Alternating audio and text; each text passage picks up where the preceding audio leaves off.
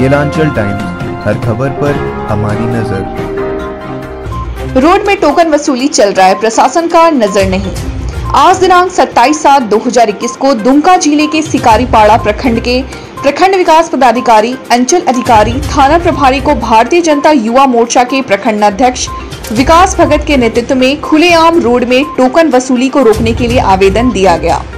युवा मोर्चा के कार्यकर्ता का कहना है कि दुमका जिला प्रशासन अवैध तरह से चलाने वाले ऑफिसर को भारी रकम देते हैं।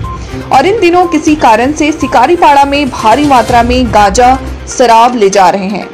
प्रशासनिक कमज़ोरी के कारण आज वसूली करने में सक्षम हो रहे हैं। युवा मोर्चा लगातार प्रयास करेंगे, जनता का किसी तरह से तकलीफ़ ना हो।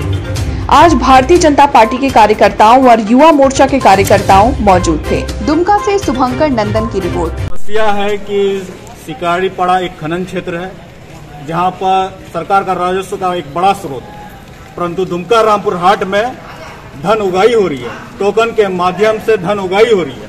ऐसा लग रहा है कि हमारे शिकारी पड़ा क्षेत्र के जल ज़मीन को, जल जल ज़मीन को लूटा जा रहा है, जो हमसे बर्दाश्त नहीं हो सकता। इस तरह हम लोग लूटने नहीं देंगे। अवैध उगाई को बंद करना होगा, अन्यथा भारतीय जनता पार्टी के नेतृत्व में जन आंदोलन किया जाएगा।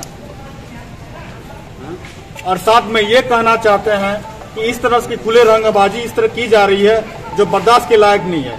उत्तर प्रदेश से, बिहार से, पश्चिम बंगाल से जो ट्रक ड्राइवर आ रहे हैं, टोकन लेने के लिए उसको बाध्य किया जा रहा है। जो अंडरलोड है, उनको भी बाध्य किया जा रहा है टोकन लेने के लिए। केलांचल टाइम्स, हर खबर पर हमारी नज़र।